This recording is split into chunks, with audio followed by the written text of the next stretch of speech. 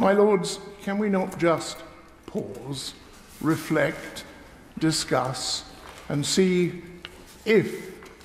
clause 9 is necessary? I don't believe it is, and what we replace it with, and which elements of the three amendments, sets of amendments before us tonight, can best be combined to give protection if it is needed to those who are harassed, and there isn't a great deal of evidence, but I accept it does happen, and also to protect the freedom not just of speech, which is so important to all of us, but the freedom of private prayer, without which you wrench the soul from a community. And nobody can stop my praying privately, because you don't know when I'm doing it.